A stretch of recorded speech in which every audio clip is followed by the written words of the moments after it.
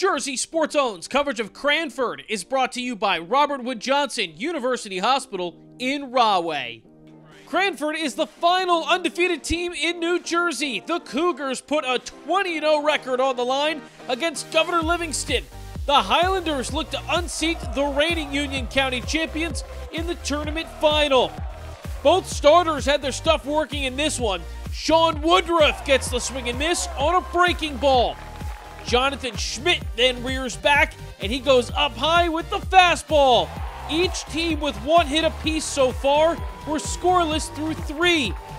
There was plenty of great defense to go around. How about GL catcher Michael Basile showing off his cannon right arm? The freshman getting it done behind the plate were scoreless through four full innings. From the rookies, we go to the veterans. Is there a better third baseman in New Jersey than Ryan Jaros? The chances are slim. The Georgia Tech commit holding it down in the hot corner. There is still no score as we go to the sixth. Top of the sixth, GL gets moving.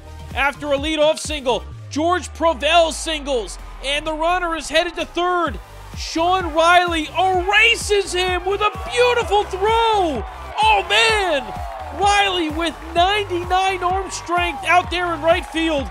That was an absolute laser. Later in the sixth, GL will proceed to load the bases for the first time in this game. Sean Woodruff is in a jam, but guess what? He gets out. The changeup does its job. Woodruff is pitching a great game. Mid six, we are still scoreless. Bottom six, Cranford works a pair of runners into scoring position with two outs, but Johnathon Schmidt is still rolling on the mound. That is strike three. We go to the seventh inning. Still two big goose eggs out there on the scoreboard.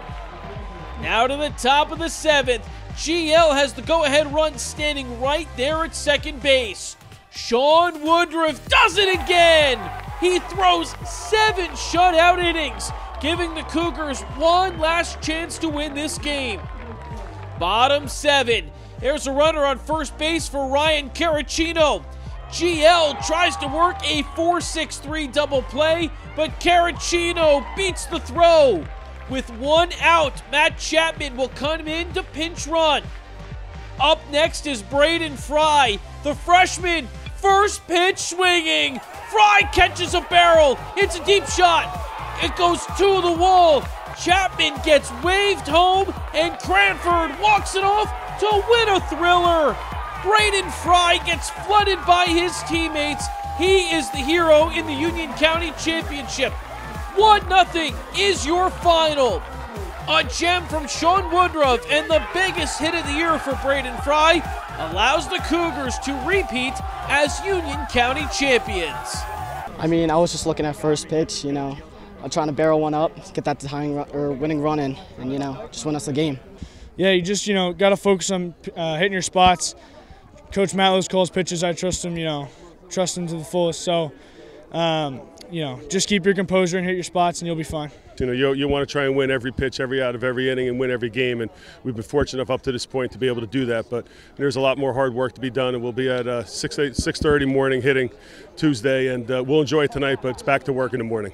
Reporting from Kean University, I'm Jay Cook, JerseySportsZone.com.